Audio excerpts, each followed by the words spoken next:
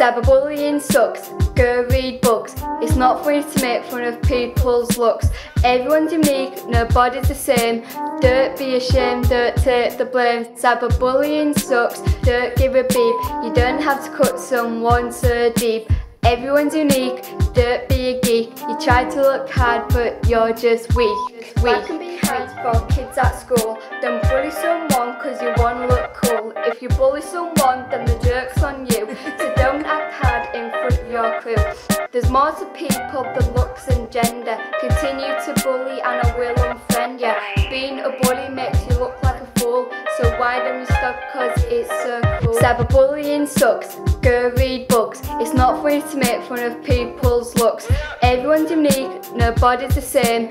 Don't be ashamed, don't take the blame. Cyberbullying sucks. Don't give a beep. You don't have to cut someone so deep.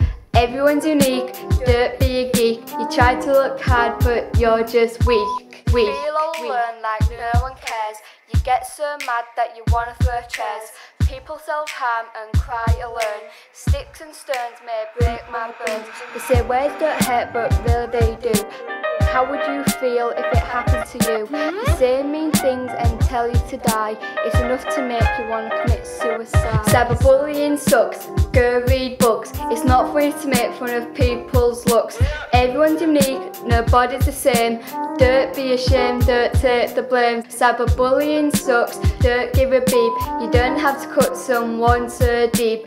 Everyone's unique, don't be. You try to look hard, but you're just weak. We've all got stuff going on in our life, but don't turn it into someone else's strife. If you witness bullying, then tell someone. Don't wait for it to happen too long. To bring an end, tell someone you trust, somewhere safe where they can be discussed. We hope our message can make a change and bullies stop playing those nasty games.